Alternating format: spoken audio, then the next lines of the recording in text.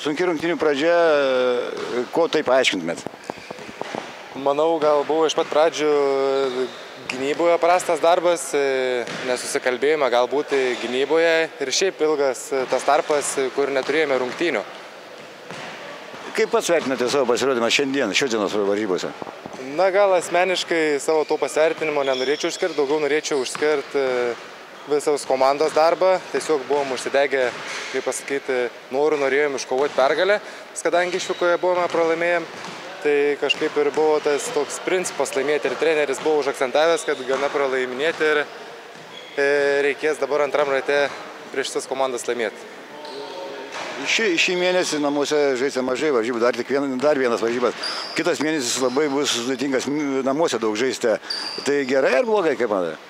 Manau, visada yra geriau žaisti namuose negu išvykoje, nes e, turime daug sergalių palaikymo. Tai manau tikrai yra didesnis pliusas. Visai kita būna euforija ir atmosfera aikštelėje. Ir dar norėčiau pridurti, kad Antanas maladėts. Ačiū.